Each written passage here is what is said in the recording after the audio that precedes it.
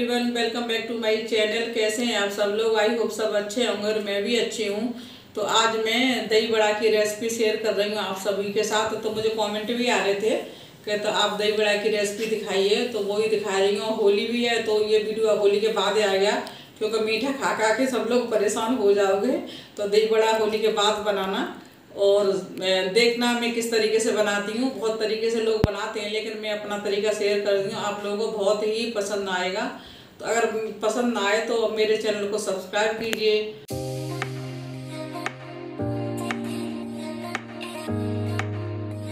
So guys यहाँ पे मैं बना रही हूँ मूंग, उड़द और मूंग दाल के बड़े तो ये मैंने दोनों दाल ली हैं आधी आधी ली हैं दोनों।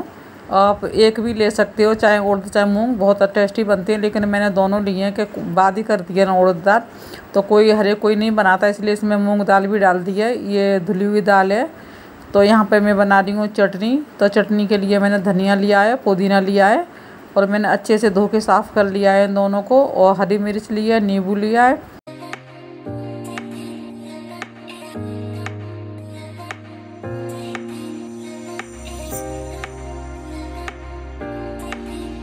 तो ये दाल थी ना, रात को मैंने भिगो दी थी।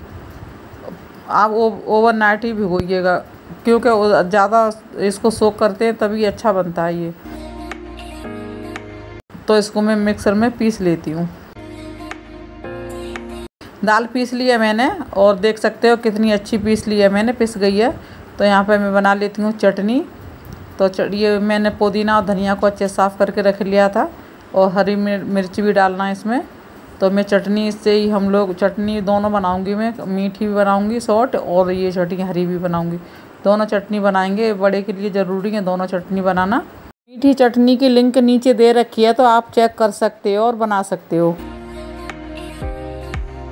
अगर आपके पास पुदीना नहीं है तो हरा धनिया की भी बना सकते हो। यहाँ पे मैं नींबू डाल देती हूँ। नींबू से बहुत अच्छी टेस्टी चटनी बनती है। तो यहाँ पे नींबू डाल दिया मैंने। अगर आपके पास नींबू नहीं है तो आप इमली भी थोड़ी सी पानी भिगो कर डाल सकते हो, देख सकते हो, चटनी कितनी अच्छी क्रीम बन के तैयार है। दिखने में भी इतनी अच्छी लग रही है तो खाने में कितनी टेस्टी होगी। तो ये दाल है तो इसमें मैं नमक डाल लेती हूँ। और नमक डाल के फिर इसको मैं फेंटूँगी, और ये जीरा है, जीरा ज़रूर डाल, डालिएगा, इससे बहुत अच्छा फ्लेवर आता है जीरा से। तो इसको मैं अच्छे से फेंट लेती हूँ, दाल को फेंटना बहुत ज़रूरी है। तो जब हम दाल को अच्छे से फेंट लेंगे तो हमारे ये बड़ा है ना, बहुत अच्छे बनेंगे टाइट नहीं बनेंगे। कभी कभी किसी का टाइट बन जाते हैं ना अंदर से तो वो लगता है भिगोने के बाद भी वो टाइट रहते हैं तो ये टाइट नहीं रहेंगे। बहुत ही इसको मैं अच्छे से फेंट लूँगी मैं, जब जितने ज़्यादा फेंटेंगे उतना ही अच्छा बनता है ये दही बड़े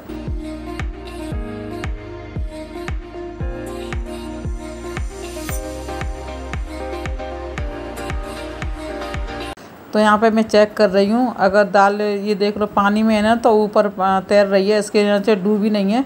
नहीं तो ये फैल जाती है, अगर फेंटते नहीं तो। तो ये हमारे चेक कर सकते हो। देख सकते हो, ऊपर आ रही है ना तो इस तरीके से आप चेक करना। तो ये दाल बिल्कुल तैयार है हमारी। तो अभी मैं बड़े बनाना शुरू करती हूँ। तो आप कभी भी इनको बना सकते हैं। कोई त्यौहार तो हो, त्यौहार नहीं है, कभी भी मन करे, आपका छुट्टियाँ चल रही हैं, बच्चे घर में हैं, कभी भी बनाती रहती हूँ मैं तो। तो यहाँ पे मैं छोटे छोटे बना लेती हूँ। आप चम्मच से भी बना सकते हो, लेकिन मैं अपने हाथ से ही बना रही हूँ। मुझे हाथ से बनाना अच्छा लगता है।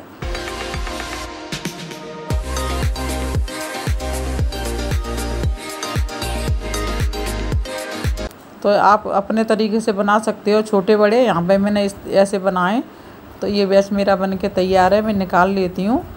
और ये पानी है तो ये गुनगुना पानी है, ज़्यादा खुला हुआ पानी नहीं है। तो मैं पानी में डाल देती हूँ जितने की मुझे ज़रूरत है उतना, और बना के फिर मैं रख लूँगी। जब भी आपको ज़रूरत हो, तब आप इसको भिगो सकते हो, पानी में डाल सकते हो। तो बड़े बन के मेरे तैयार हैं, देख सकते हो कितने अच्छे बने हैं। तो ये सारे बड़े मैंने बना के तैयार कर लिए हैं। और ये है ग्रीन चटनी, ये है दही दही को मैंने अच्छे से फेंट लिया है। और ये है सौंठ, जो मीठी चटनी भी कहते हैं इमली की। तो कितनी अच्छी लग रही है ना यहाँ पे?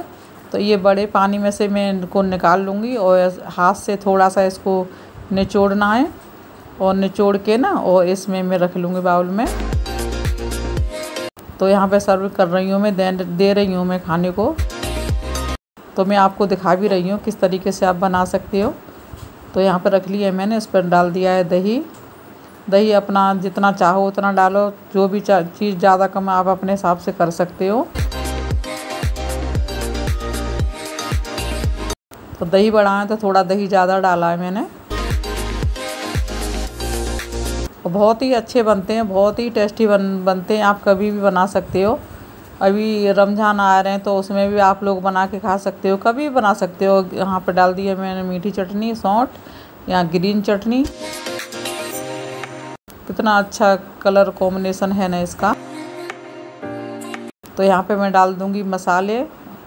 तो यहाँ पे मैंने डाला है नमक, काला नमक डालो, डाला, सफ़ेद नमक डालो, भुना हुआ जीरा डालो, बस वही मसाले जाते हैं इसमें।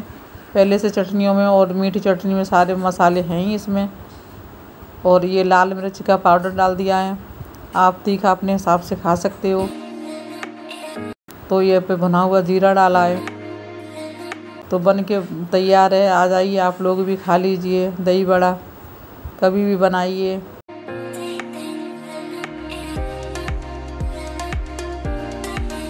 फिर भी मिलती हूँ अच्छे से वीडियो के साथ। तो अपना और अपनों का ध्यान रखिए।